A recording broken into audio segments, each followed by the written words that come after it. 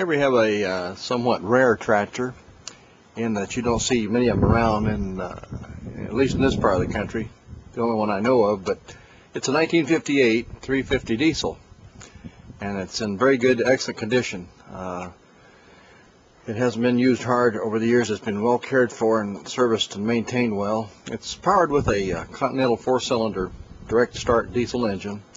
This tractor comes equipped with uh, the factory power steering, uh, lights. It has the International two-point fast hitch, uh, TA, uh, fenders. It has a belt pulley on it, and new tires all the way around with 13 sixes on the back and 600 by 16s on the front.